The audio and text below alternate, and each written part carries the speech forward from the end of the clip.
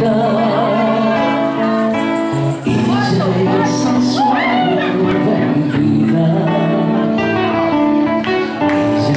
es mi gran amor, ella